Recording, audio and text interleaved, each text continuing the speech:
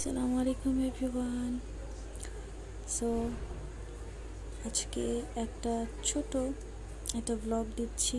আমার Eid day three কীভাবে কাটলো উইথ মাই ফ্যামিলি ফার্স্টে বসুন্ধরায় গিয়ে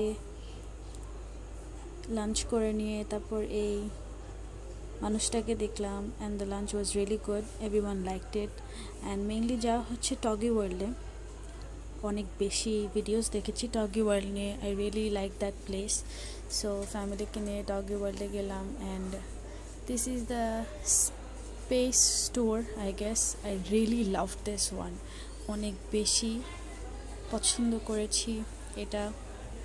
অ্যান্ড আমার খেলতে খুব ভালো লাগছে। প্রত্যেকটা গেম অনেক ইন্টারেস্টিং ছিল। এটা হচ্ছে ফার্স্ট চয়েস আমার আমার অনেক ভালো লেগেছে। তারপর ট্র্যাম্পোলিন অনেক লাফালাফি, এখানে পুরো মাথা ব্যথা হয়ে গেছিল। তারপর জম্বি শ্যুটও ছিল, এটা আমি খেলিনি। তারপর এই তো, উনি আবার এসেছে। অ্যান্ড দেন এখানে বোট রাইডিং আছে কার রেস আছে ভিআর দিয়েও আছে ভিআর ছাড়াও আছে। এই যে আমি এখন রেস করছি এ I don't know how to drive but I really like this অনেক, আমি গাড়ি একদম আকাশে উঠিয়ে দিয়েছিলাম but still I like this I guess ফ্যামিলির সাথে বা ছোটো ভাই বোনদের সাথে ঘোরার জন্য এটা একটা ভালো জায়গা। অনেক রাইডস আছে, অনেক গেমস আছে, বাচ্চাদের জন্য আলাদা জায়গা আছে, সেখানে আমরা যাই নাই দেখে ভিডিওটা করতে পারিনি।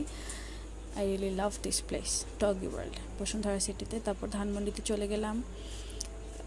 এই যে আমার ভাইয়া, ধানমন্ডিতে খানাজে Naga chicken peri peri chicken chocolate then Dhanmondi lake আমার আম্মুর ফেভারিট জায়গা এটা। আম্মু হাঁটতে খুব পছন্দ করে। জায়গাটা খুবই সুন্দর।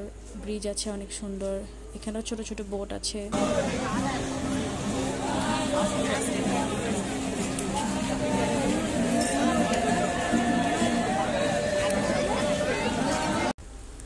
দ্যাটস অল আমার খুব ভালো কেটেছে দিনটা, আলহামদুলিল্লাহ। অ্যান্ড যাওয়ার সময় ভিডিও করতে পারিনি কারণ প্রচণ্ড শরীর খারাপ লাগছিল।